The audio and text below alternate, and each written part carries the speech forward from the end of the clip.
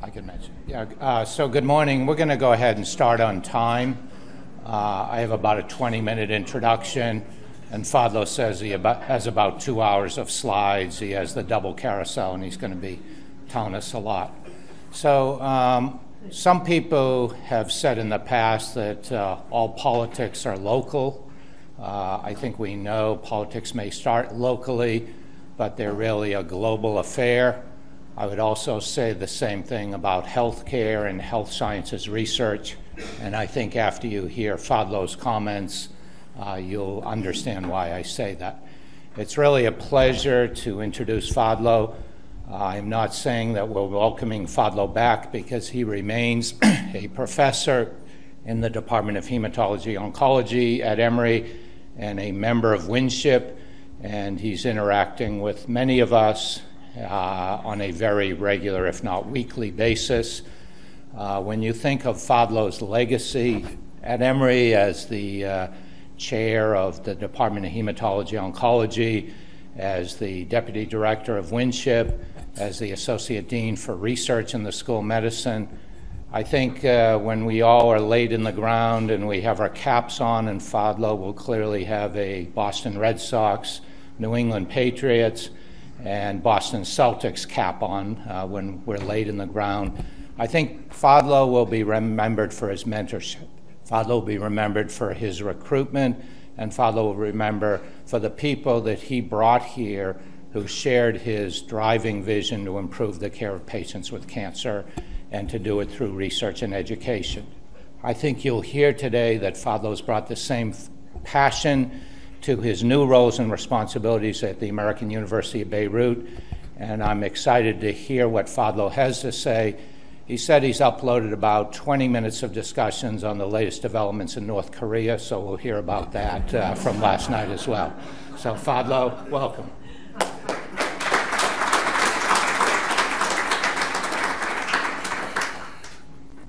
Thank you very much, Wally. It's great to be back home. You know, I. Uh, Last uh, August, when I was trying, or actually last July, I was trying to convince my wife of the advantages of selling all our properties here. Not many, but I learned a thing or two from my friend of 22 years, uh, Wally Curran, who's been a good friend since February of 1996. Uh, and offloading them to buy a nice apartment in Miami about a month before the storms hit because you don't pay the same kind of taxes in Florida that you do in Atlanta. And my wife said, You know, I think this is home for us in the US. And I think I'm very grateful to Wally and Claire Sterk and Chris Larsen for convincing me not to give up my tenure at Emory. It's, a, it's been a wonderful ride, and this is a fantastic institution. I snuck into the audience on, uh, thanks to Judy and Catherine, to see the wonderful celebration uh, of comprehensiveness at the Carter Center, and I think it was one of the most touching moments of my life. And Shirley Franklin made me alternatively want to laugh or cry, but it is true. The World Cup is more important than oncology, and this is a World Cup year. So the, the American University of Beirut is an institution that's well known to this group. I'm going to tell you what we're doing now. Uh, I'm very happy to say that we signed a probably the most sweeping MOU that either we or Emory has signed yesterday. It's very broad, but it's factored on collaborations in five areas. It, the School of Medicine, the schools of, Pub, schools of Medicine, Schools of Public Health, the Winship Cancer Institute, the Faculty of Arts and Sciences, and the schools of business.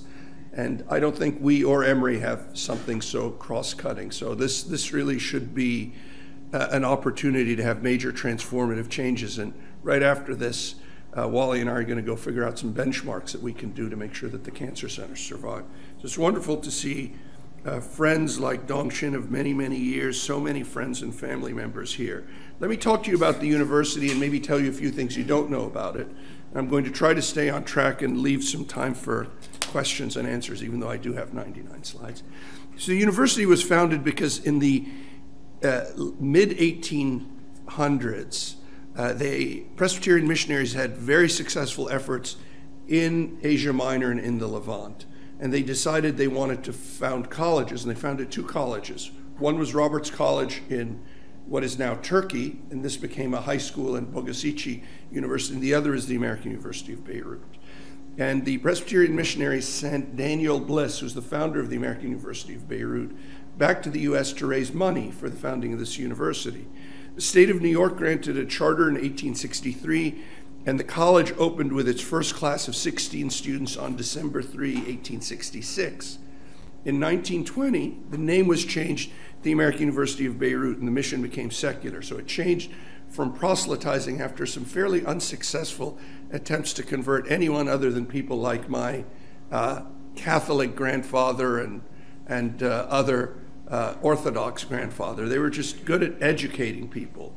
And Daniel Bliss said something very important. He said, We were not, not anxious to appear great, but we were anxious to lay foundations upon which greatness could be built. So they really did have this American ethos of creating opportunities so that people could be empowered by education. And he really had a profound impact. He was president of the university for 36 years.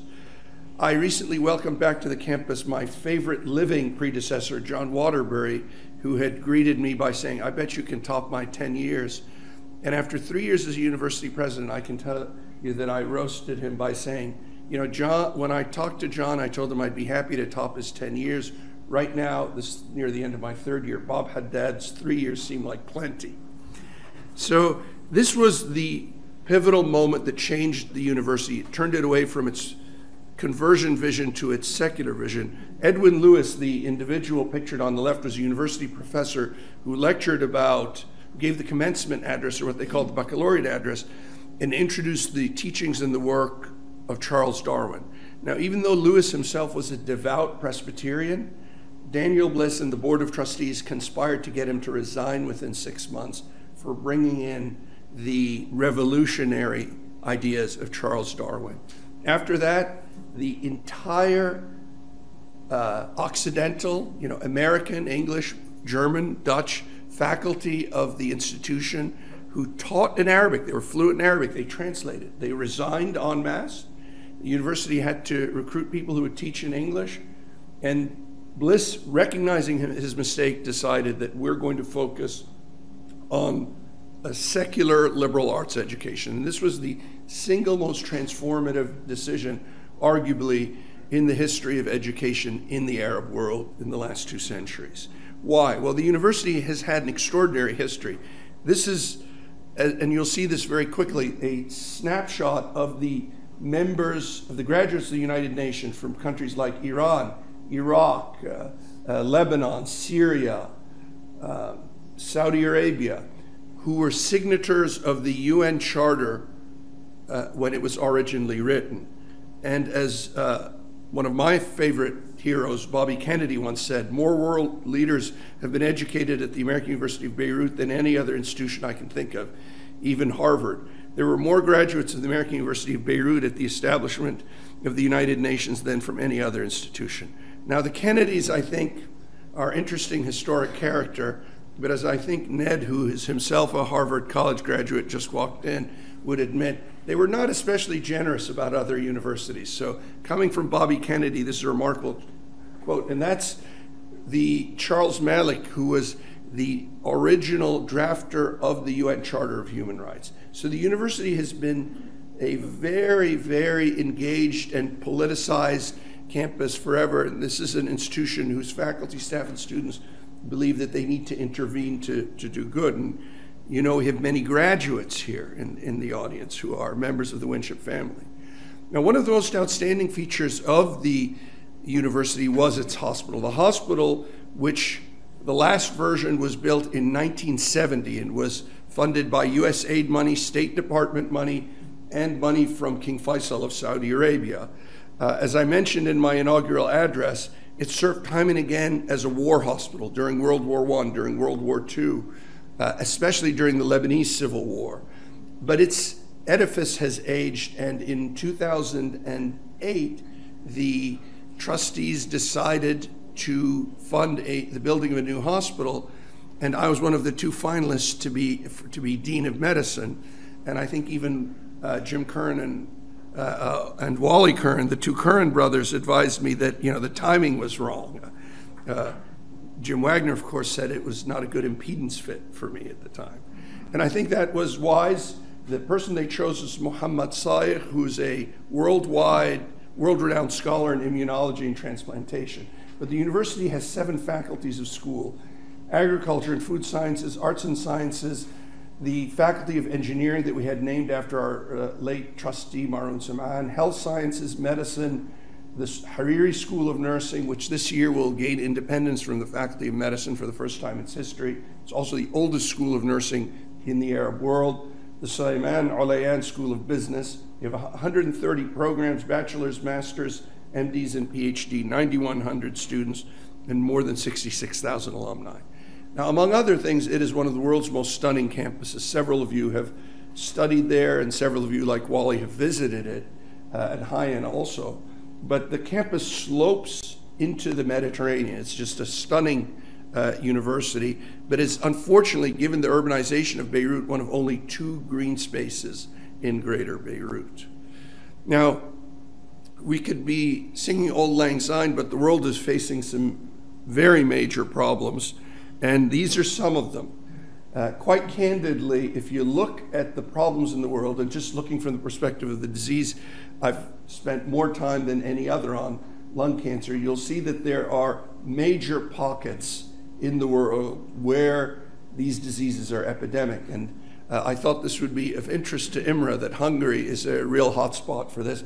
But Lebanon actually has the third highest per capita cigarette, uh, cigarette consumption in the world. And this doesn't even factor in what I'll end my talk with, which is a discussion of a new danger, which is the water pipe. So some of these problems are starting to shape themselves in the developed world, which are referred to as the, which is referred to as the global north, and in the developing world, which is called the global south. Now, Lebanon is a medium income country. It's not a poor country, but it's a medium income country with uh, a very, very wide disparity in wealth and distribution of wealth. Now, if you study health in the Arab world, you'll see that there are real systemic challenges. First of all, there's the dual burden of disease on the society and the individual that we see everywhere. But the inequities that we see between rich and poor, between insured and uninsured, are even more manifest in countries like that.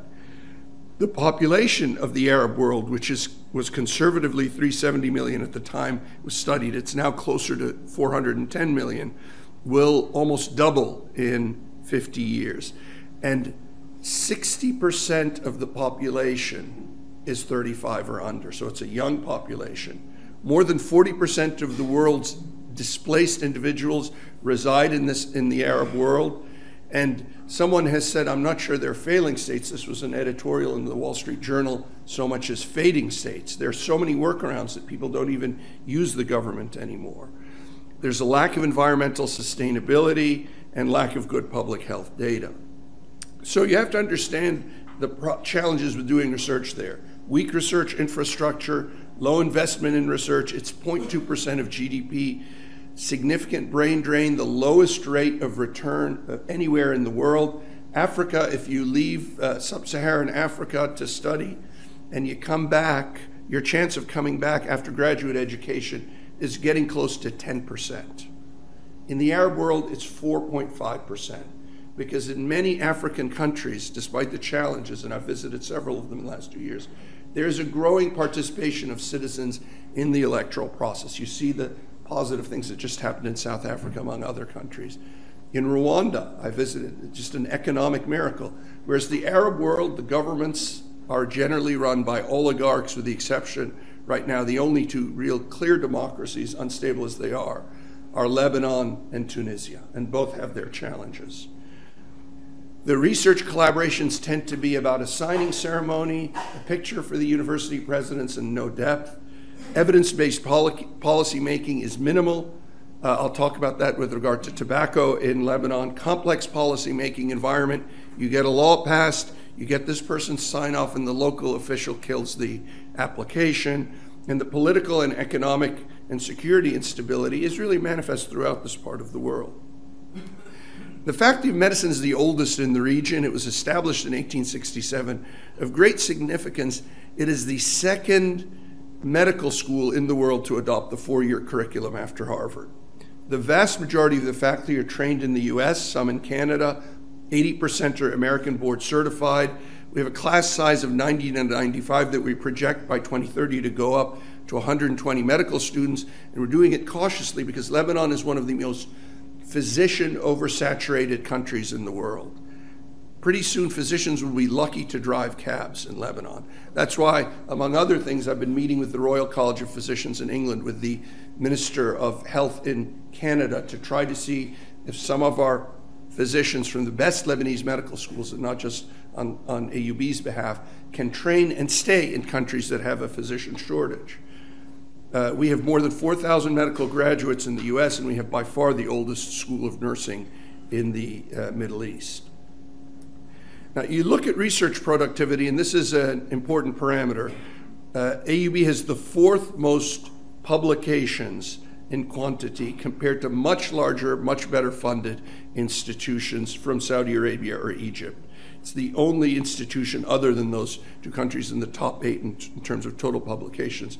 But as I've said here many times, quantity trumps quality seven days a week and twice on Sunday. So Look at the research productivity by university. No university dominates its country like AUB dominates Lebanon. 50, almost 53% of all publications, 63% of all citations come from this one small university.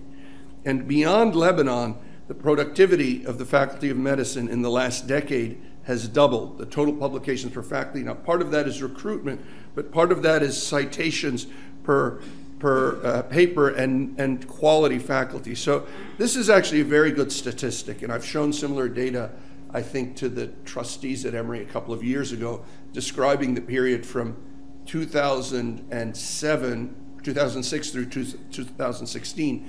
Emory dramatically increased its research productivity by investing in stellar young scientists. And AUB is now attempting to continue to do the same thing. They've been doing this since before I came there, but we've increased the research budget from $2 million to $5.2 million. Think of how small that is compared to an American university, and yet on average, the average paper produced by our faculty of medicine has almost 10 citations. So the only good thing we get from New, U.S. News and World Report, a, an institution I've derided for my entire time in Atlanta ever since arriving here and finding out that uh, in 2002, Emory didn't even rank in the top 200 of cancer programs. And thanks to Wally and all of you, it's now solidly in the top 25 to 50. But we know that Winship is better than that. AUB was awarded the number one uh, ranking in percentage of total publications in the top 10%. So I'm going to talk a little bit about the clusters of basic science research there because it, has been my positions as, a, as an alumnus and as an uh, donor to AUB that it's critical to invest in the basic sciences. I think most of you saw that was the thrust of our um, agenda when I was briefly a research dean here. But we have foci of real strength in oncoprotein degradation targeting of hematologic malignancies, in genetic diseases, mostly neurological diseases that are hereditary because of the high degree of consanguinity in Lebanon, cardiovascular and renal research uh, strengths and immunology strengths because the dean is an immunologist. His wife, Samia, is one of the world, uh, world's top uh, multiple sclerosis researchers, also an immunolo- immunologist and neurologist. So I'm going to s- blow through these just to show you the quality of their research. This is work being done in our Faculty of Medicine on uh, B-type natriuretic factor, where they're selecting a, developing a very sensitive platform from biomedical engineering and the heart failure unit, because believe it or not, heart failure is among the leading causes of death in Lebanon, not just MIs, but heart failure from generally hypertension and, and uh, uh, hypertrophic cardiomyopathy. So this is developing a, a, an ability to detect this early through blood monitoring. We have some very nice fundamental scientists in our Faculty of Arts and Sciences is Mike Osta's work. He published in Science a couple of years ago as a paper in review at Nature, and he looks at protein. Uh, he, he looks at a complex set of proteases that control mosquito immune response to malaria. Malaria is not endemic in Lebanon. Of course, it's endemic in Africa, but mosquitoes are endemic to Lebanon. And he's interested in finding out why there isn't more malaria. What are the factors that help protect against that? Um, we have the Department of Ophthalmology, which has the most highly cited paper in the last decade in the Middle East uh, among all Arab countries. Uh, has a collaboration with biomedical engineering and electrical engineering to look at degenerative disorders of the of the sensory retina. Many of you know macular degeneration is probably the leading cause of, of blindness among older folks. And this is a platform that's being developed that we're hoping to commercialize. Now, one of the challenges there has been developing a, an innovation park, and I'm trying to get 100 different investors, not so much donors, but investors to put in 500,000 each to develop an innovation platform at the university to, to translate these. And uh, Dr. Fu, who we've asked to, to co chair our International Advisory Committee, will be helping me hopefully convince folks to invest. This is a specific genomic marker for hepatitis B that's been developed by our faculty of medicine and uh, medicine, faculties of medicine and engineering. This is a probe that basically can integrate the assay into a portable smartphone device that I met with the governor of the Central Bank of Lebanon to see if we can get some angel seed funding because he gave 300 million in financial financial backing to the banks and they're extraordinarily conservative. So I said, how about putting some pressure on these banks to invest? And I'm going to show you some of the work that's being done uh, and name some, but not all of my stars. This is Ghassan Dbaibo. Ghassan is a fellow who's two years ahead of me in high school, always a wonderful pediatrician. Uh, in, in, for the interest of uh, conflict disclosure, he's also the, been the pediatrician for our kids for every trip we go back to Lebanon. But he is a world class ID guy. He's actually senior author two papers in the New England Journal. Uh, this one is about development of vaccine prevention for mild and moderately severe influenza in children. So he led this worldwide uh, trial in Lebanon. This is the largest randomized control study on the efficacy of influenza vaccine in children. And it shows that the vaccine is effective in three quarters of people. This is Samia Khoury. She's uh, our third most cited scientist at the university. She's our vice dean for research for the medical school, uh, tenured professor at Harvard who came back. Of course, it helped that we had her husband already as the dean. But Samia uh, and Hala Darwish, who's an extraordinary nurse, authored the major paper on the impact of vitamin D replacement on cognition in multiple sclerosis, a, a positive study. Uh, this is Rosemary Boustany, who's a one woman uh, storm. Rosie was a tenured professor at Duke, came back in the mid 1990s. She's developed a major clinic for children with autism and special needs.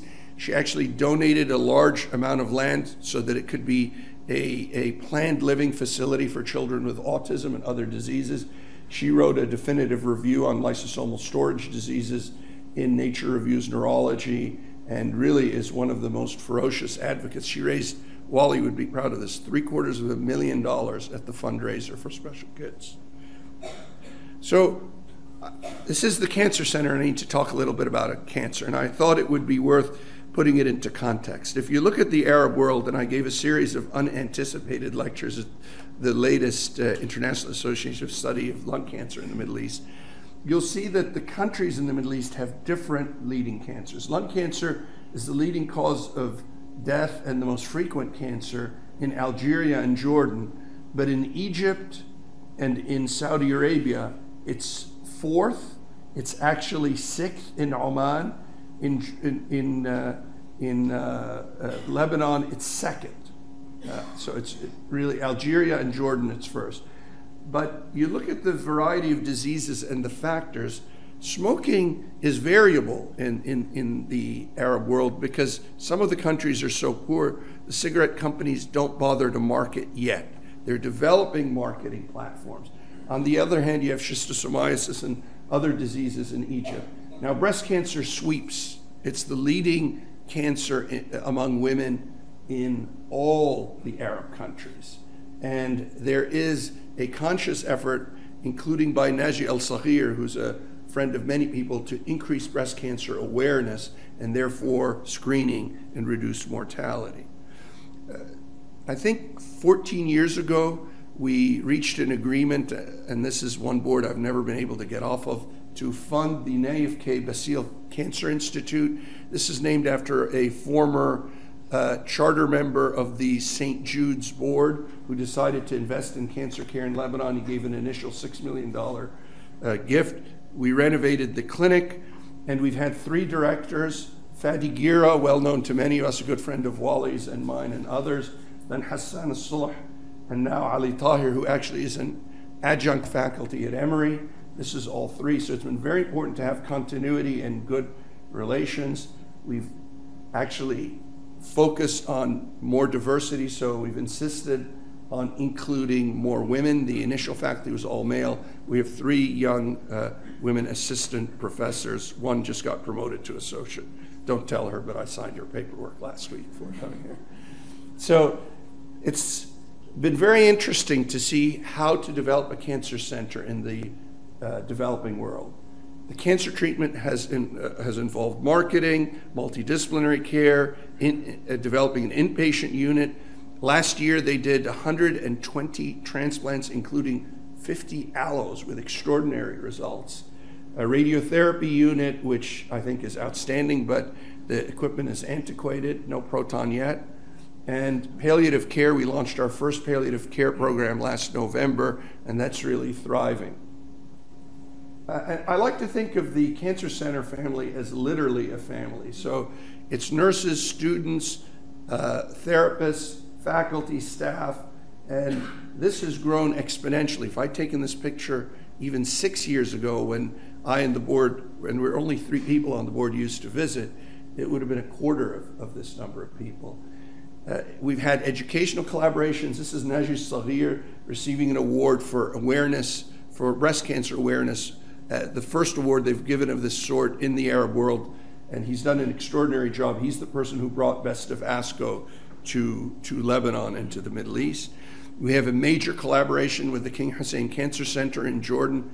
Uh, this is the uh, Princess Rida in the middle uh, all of us looking solemn, trying to not smile too much, but we have a multi million dollar collaboration with the King Hussein Cancer Center on care paths.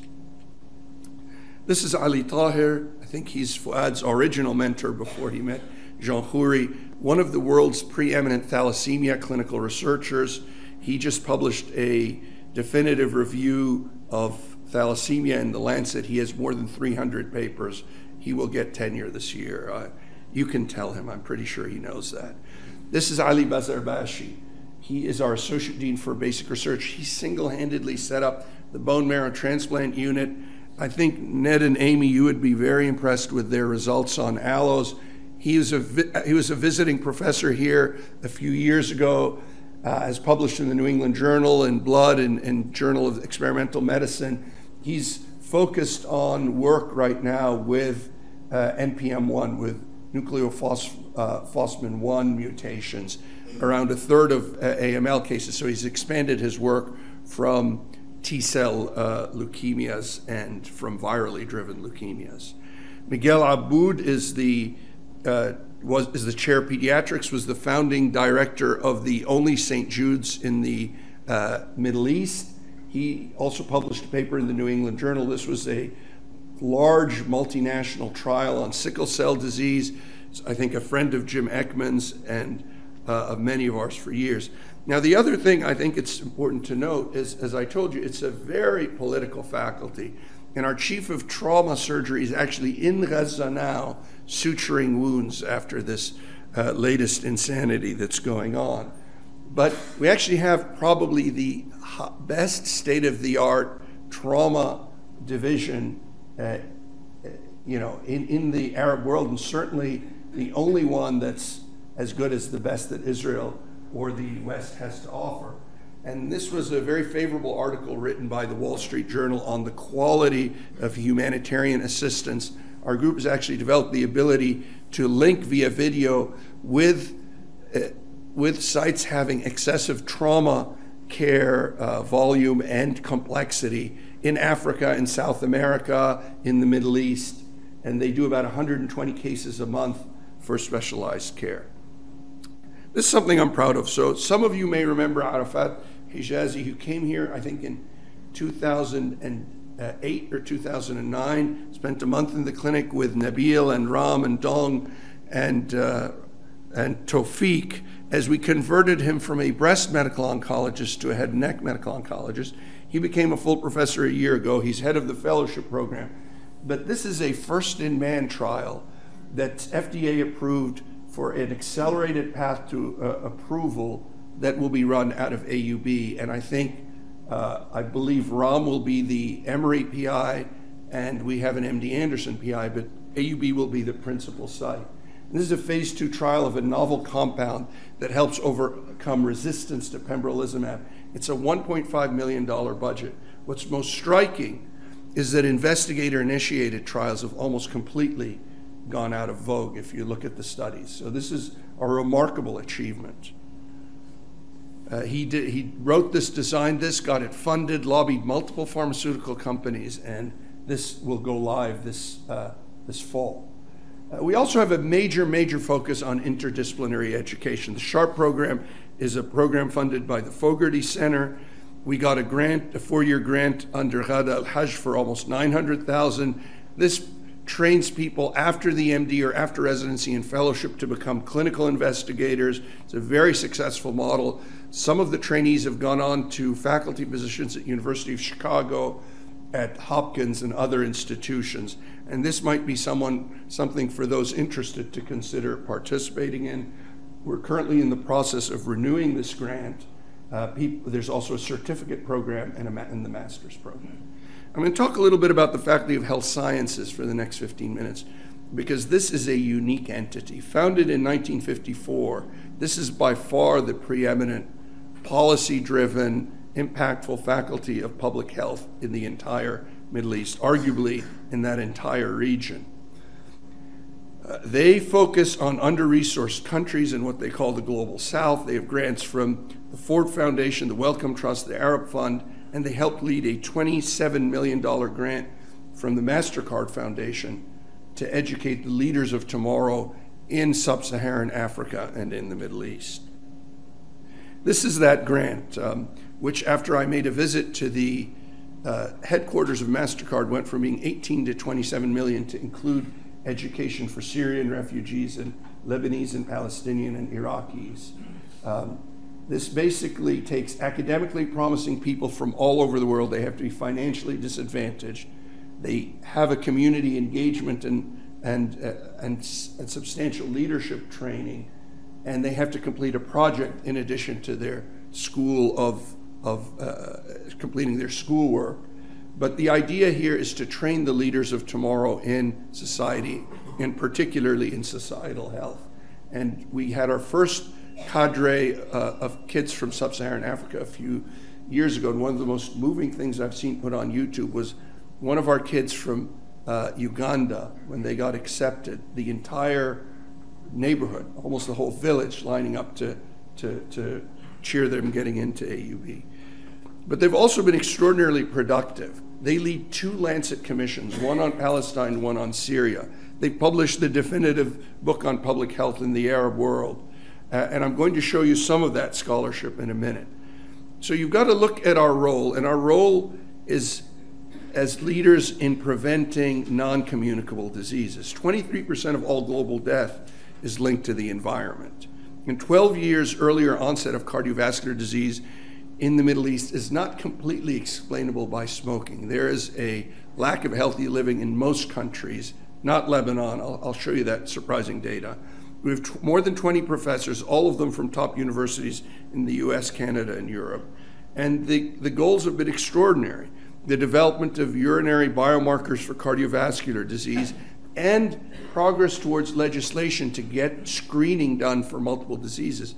In fact, the Dean of Public Health, when he was an assistant professor, did an epidemiologic study that linked the neurological and psychiatric deficits in child laborers with their exposure to lead and got a ban in Lebanon from their using certain types of paint. So that's having real impact. Also, we have a major role in nutrition. We have one of the top agriculture and food sciences schools.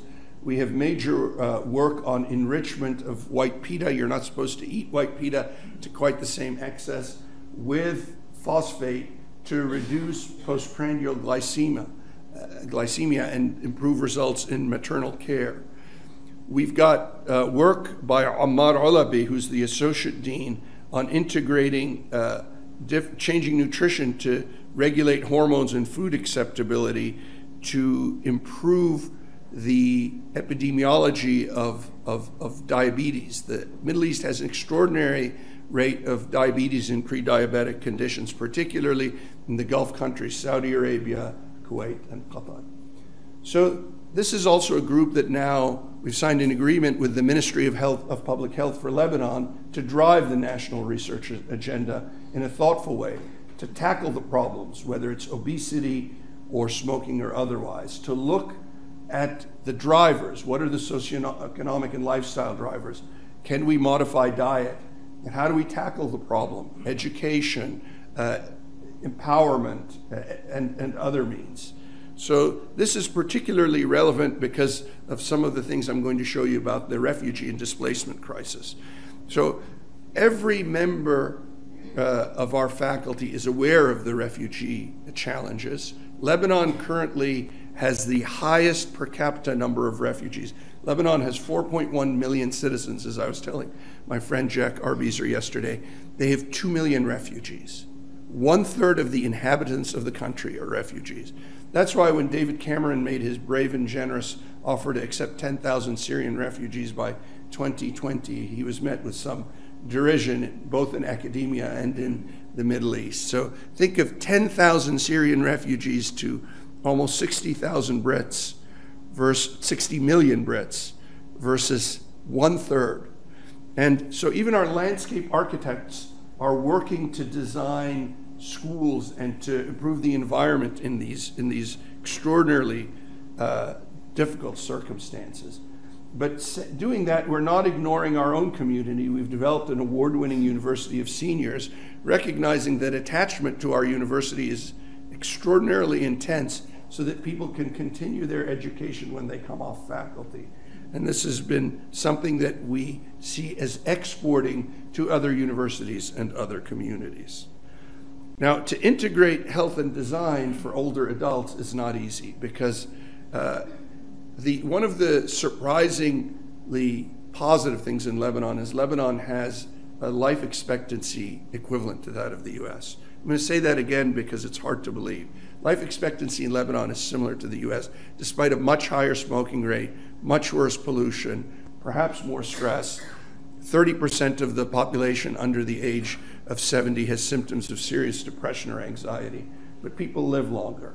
Why do they live longer? Because there is a sense of community, and yet the idea here is to develop a healthier community for the older adults and keep them engaged in society. So, this is looking at outdoor built environments, green roofs, landscapes. At the same time, trying to take those lessons and apply them to the biggest challenge since World War II, which is displacement. So, the goals of our refugee health program are to learn from everything we're doing at AUB, to create a resource hub, establish a platform, and devise clinical and health system tools that can uh, raise awareness and build capacity. And build capacity internally. You want to train young Syrian refugees to take care of their own folks, and we have some, some health. Um, I'm going to call them health depots, not home depots, out in the Bekaa training people. So, this is right now what I think is one of the world's most daunting problems, and I'm not sure how to use this. Is this the pointer? Yeah. So, Syria is a country of 20 million. Half of the population is displaced, and if you consider internal displacement, it's 60%. 60% of people live outside their homes. And the Syrian government recently decreed that unless you return to register your home within 30 days, the state would appropriate that. There's also continued escape from Iraq. Iraq is metastable uh, without being too political. I'm not sure that the popular election of Muqtada al Sadr, who's a renowned critic of the United States, will help that stability all that much. So, where do people go from Syria? From Iraq, they mostly go to Syria. 50 50,000 have gone on to Lebanon. The majority goes to Jordan. Syria, they go to Lebanon, Turkey, or Jordan, or they flee to Egypt. Why is this a global challenge? Because you know Lebanon is this tiny country, unstable democracy, call it what or metastable, as us like to say. But this can also be seen as the dam. When this shatters, Europe is here, and Europe uh, the continent which has bequeathed humankind the worst wars in our history World War I, World War II, the Hundred Day uh, War is not quite as stable as they like to think. So it's very important to develop some win wins for these folks before they go home. We have a large grant with the University College London to build job capacity in the camps to train people and as Wally and, and and a few close friends know, the last three years we've lobbied Congress for a program to educate the Syrian refugees. And thanks to Senator Lindsey Graham, we're going to get $8 million this year specifically for that purpose without touching the prior U.S. assistance for Lebanon and for the Palestinian refugees. It's very important that they get a win that is not out of someone else's pie. So we do all sorts of research on health. We're not just actively engaged. We have the Lancet Syria Commission, the looking at the resilience of health systems, child labor, and other aspects. But this is really a human tragedy. There are 19 million displaced people in the MENA region, 40% of the world's displaced. And if you look at this study on child labor and agriculture done by our faculty, this is interviews with female caretakers and details on almost 4,400 working children and the data are stunning. 72% of the children ages 5 to 18 work in the agriculture sector in the Beqa in rain, cold, and heat. 50% of the children don't go to school because they have to go to work. Lebanon has absorbed about almost a quarter of a million school age children. Some of their parents keep them out because they need the income. School age children in the, into the public schools, that is. There's also been the discovery of a new bacteria by one of our faculty, Iraqibacter, looking at the social science, the clinical epidemiology in the laboratory. This has been a large funded uh, study that actually resulted in a very fascinating book by Omar Dewachi, the principal discoverer, a medical anthropologist in our Faculty of Public Health, about how this came to be. This is a, a bug that, in many respects, uh, as according to Dr. Rice, is far worse than MRSA. There's strains out there that are resistant to virtually every antibiotic, and this is becoming more and more prevalent in the Iraqi uh, among the Iraqi refugees, and it's spreading to the Syrian refugees uh, community as they interact. So we've gotten a number of large grants, including from the Medical Research Council for the UK. I know Fogarty's reviewing a major application, and the field sites include Lebanon, Iraq, and Syria dozen, uh, dozen researchers from multiple institutions. Uh, these are some additional uh, grants, and this is the first meeting of the group. And you'll recognize some of these universities, such as University of Cambridge, Imperial College London, Birzeit, and AUB. So these are the kinds of things we work on, and not sparing the Yemen health crisis. Yemen is a human tragedy that has been ongoing for some time. Uh, the few of you who are interested in Middle Eastern politics will remember that Yemen was ultimately the undoing of Nasser as much as anyone else. He invaded it and basically drained his what little budget he had in there. But this is a remarkably beautiful but stubborn country that refuses external governance. Currently, Saudi Arabia and Iran are embroiled in a proxy war, which has resulted in a million suspected cholera cases. So we have projects there from the Wellcome Trust and others. We have faculty on the ground in Yemen. And we recently transported a young woman who applied for AUB, didn't have her GREs because guess what? They're not administering the GREs in war torn Yemen. We had her flown to AUB, tra- got her a coach, uh, and she did quite well in her GREs and her education is being fully paid for by her mentor, which is Donna Shalala. Some of you might have heard of a recipient of an honorary degree and just an amazing lady. So these are some of the grants we're working on in Yemen. Uh, so we're working at the two extremes of obesity and starvation. We've got major global health programs. And going back to diabetes, which I mentioned earlier, the adult population in Saudi Arabia, 30, almost 36% obesity, and in the Emirates, almost 34%. Look at the diabetes rates.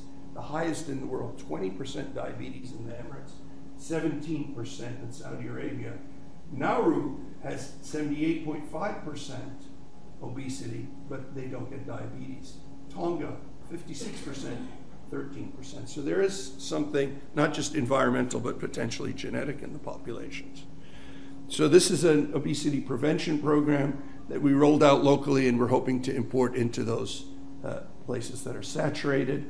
Um, as the folks who work at Grady know, I became quite pleased, thanks to Ruth O'Regan, with using Epic. And we signed an agreement with Epic. We go live on November the 3rd when I'm supposed to be here at Rahman Taufiq's um, Atlanta lung program. We'll see. They're telling me they don't need me. We're hitting all the cues. But on top of that, we're collaborating with Epic to develop a program which actually tracks refugee health parameters electronically. And now that we've sorted out the patent rights, I think this will be a very happy collaboration. Um, this is one of our mobile health platforms in the Beqa at the refugee camps. And in addition to that, we just got a large grant on uh, from the National Institute for Health Research on fragility. Fragility of states, where I gave the keynote lecture at a recent meeting in the Amsterdam, sponsored by the Queen of the Netherlands. I never knew the Netherlands had a queen, but we got to meet her. But this looks at how do you stabilize uh, fragile states? And fragile states include Lebanon, Turkey. I would argue in the last couple of years it could even include the United States, unfortunately. So, how do we put this all together? Sorry, I had to get something in there. So, there's so much talent and there's such a sense of mission. But at every academic institution, you have the challenge of silos. You have the medical school, you have the School of Public Health. I showed you work from the Faculty of Agriculture and Food Sciences, Arts and Sciences, Nutrition, uh, Nursing. And uh, at my inauguration, I said, I propose an initiative that'll take us beyond the region's medical centers. We, we have the best medical center in the region to become the region's first legitimate health sciences center. We set a, a, a, platform for a Vision 2025 that I have to roll out to the Board of Trustees by um, this September. That's an ambitious timeline. And the idea is how do we bridge all the challenges with interfaculty uh, collaboration. For two years, we've put out about $400,000 a year in challenge grants for people to collaborate. To put that in perspective, who wants to guess what the average startup is for a faculty member at AUB outside the Faculty of Arts and Sciences? Who wants to guess? Jonathan? $5,000. It's a startup for someone who's lab based. So we've increased that to 10,000. We put out these challenge grants. And the idea is that in addition to physical infrastructure, we just opened our ambulatory care center. We'll eventually develop a new medical complex that'll result by 2030 in a health sciences complex on the upper and medical campus that will have public health, medicine, nursing, hopefully pharmaceutical sciences, and on the lower campus, data sciences, physics, chemistry, discovery, and, uh, and high throughput uh, and engineering. And to do this, uh, this is one of the reasons I'm here. Of course, I'm principally here for my son's graduation, but Claire was very kind to agree to sign the MOU between Emory and AUB uh, yesterday. And we're picking 32 international partners. Emory was always at the top of our list. In the United States, so far, we've partnered in a major way with Emory, Johns Hopkins, and the Graduate Center in New York. We have a small and and enlarging uh, collaboration with Stanford on design, and we have one in its infancy with Columbia. I think this is going well enough that Yale has been pushing for this, and we're saying, not yet, you're get in line. So I, I want to say that I'm very proud of our relationship with Emory. We have um, to partner with the local institutions with the University of Saint Joseph, the Jesuit institution, the second best university in Lebanon, and the public institution, because as you've heard me say before, a rising tide should lift all boats, as John Kennedy once said. So we also have to help lift the quality of academic work in the Arab world, so we have some regional collaborations we're working on. And for me, you've seen this slide before, and I show it for a different purpose today. I've gotten a lot of credit here, more than I deserve.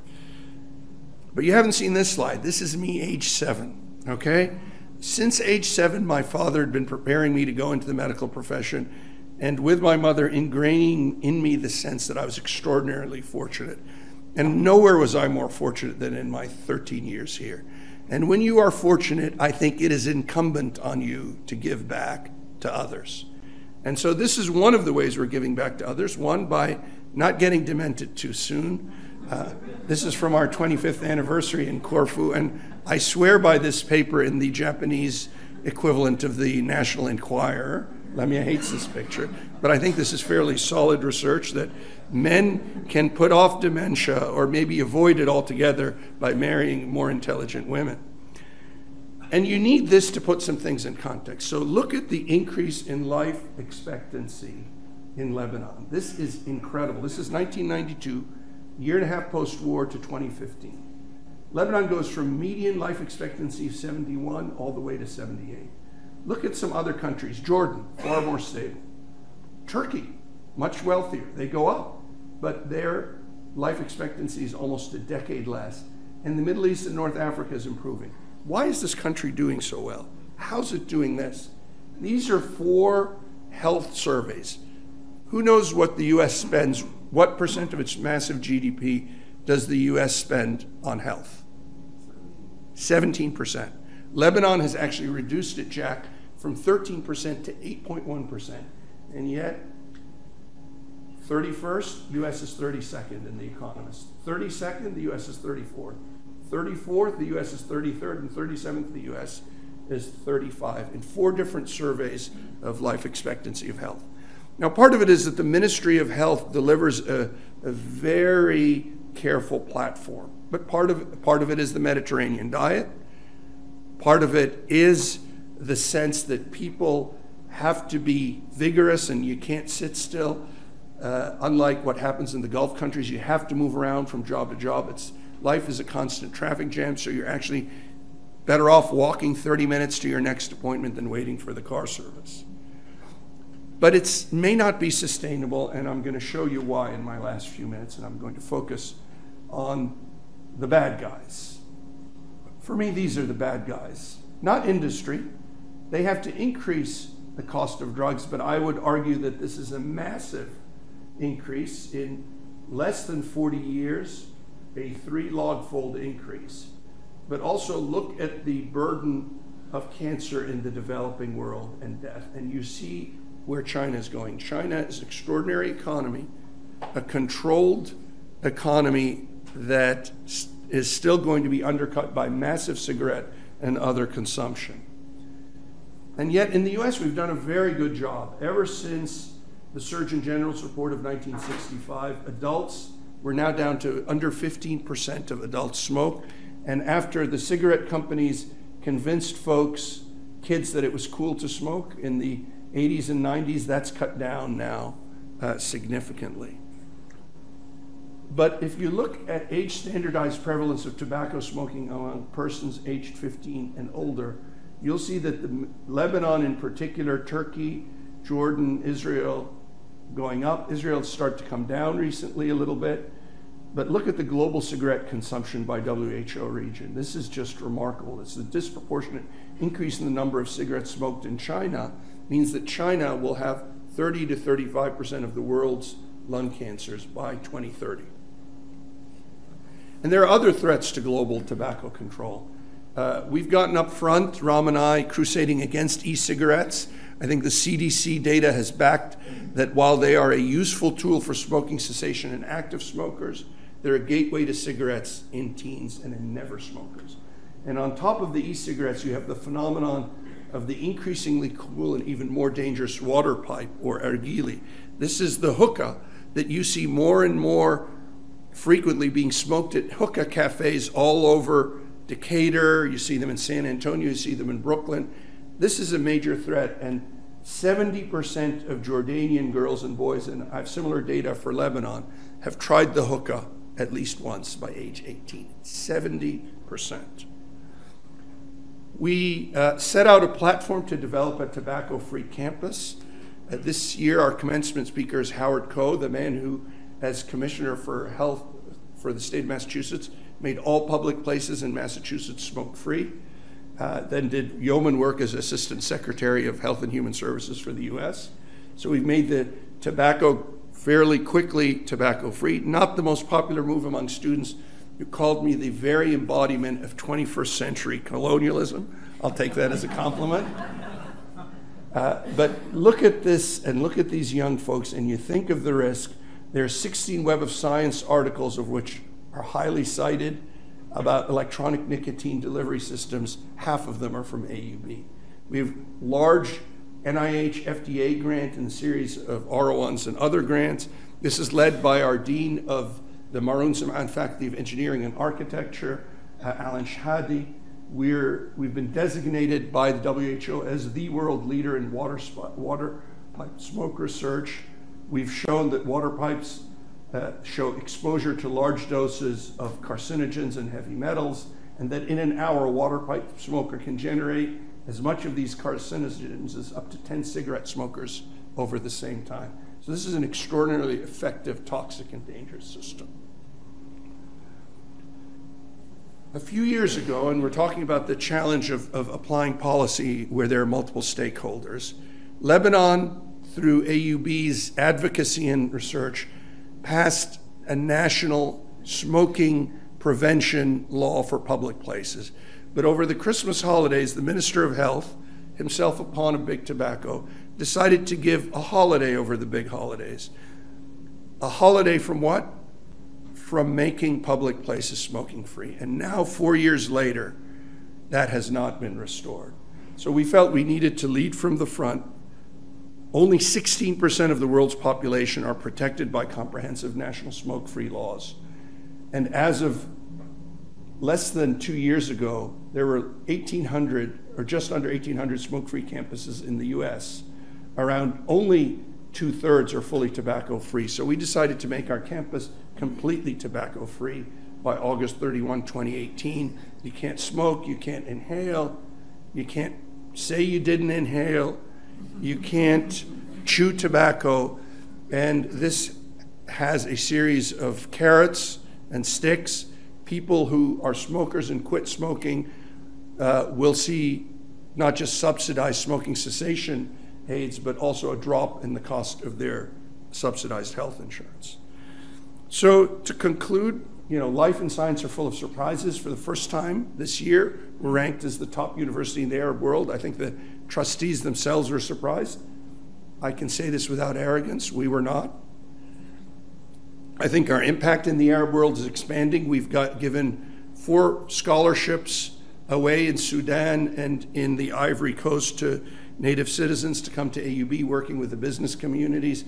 I hope that by the time we get kicked out because university presidents usually get kicked out no matter how you, you wrap it up. Uh, we'll have more than 100 kids from some of the most underdeveloped countries in the world attending AUB free of charge. Um, no one said this would be easy. Zaha Hadid, the first woman to win the Pritzker Prize in Architecture, and our alumnus once said, If you want an easy life, don't be an architect. But you know that. You're cancer researchers and doctors. So I, I do think this is the time to really partner. This is my last slide. Emory is clearly a leading research university in the US, although sometimes it seems embarrassed to say that, which irritated me no end when I was here. I think we are one of the leading high impact research and academic institutions in the global south, not just in the Arab world. We're right in the heart of a conflict ridden region. You're in one of the most peaceful neighborhoods in the world. But you're in an America that's undergoing major changes at a rate perhaps no one anticipated a decade ago. I think our vision and Emory's vision are very conducive to major collaborations. All of us here want to make a difference. All of us here want to serve those less fortunate. So I think in this post conflict era, in this anti globalization era, this partnership can really make a difference. And with that, I'll say thank you very much.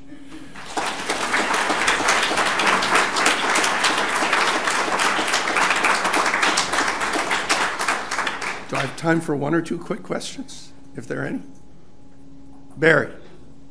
I saw that my personal favorite cancer, head and neck cancer, was not in the top ten of any Middle Eastern country. They must not be having sex, or they and they don't drink much. So the cofactors for developing head and neck cancer, alcohol and HPV. Um, I, I suspect there's just as much infidelity as everywhere else, but smoking rates are very high in Lebanon. But even in Lebanon, we're not seeing a ton of head and neck cancer. Um, so I was it was a surprise to me. Ned. So, great talk, Monroe. Lung cancer was the third cause of death among women, of cancer deaths among women in Lebanon. How much does a secular lifestyle feed into smoking among women and, and their in- predisposition for lung cancer? So I think it's safe to say Lebanon is not just the most emancipated society in the Middle East. Despite our ineffectual uh, parliament, they recently passed laws against child marriage and uh, the abhorrent law that exists in many Arab countries that if a woman agrees to marry her rapist, then they drop the charges. That was torn up only in Lebanon and Jordan so far, and I think in Tunisia. Yep, I know. I see Amy shaking her head, but believe it or not, so, Lebanon's secular lifestyle and the cigarette consumption rate probably contributes to that, as does the extent of pollution. Um, one of the challenges with Lebanon is that, like the Arab world, a lot of families, very conservative, refuse to say they have cancer. And lung cancer is a disease where early diagnosis can have an extraordinary difference. So we're trying to roll out more of a public health campaign on low-cost CT scanners. And the scan in Lebanon can cost under under $100, believe it or not. So we're trying to get that done. By the way, I would have been disappointed if you didn't ask me a question. Thank you.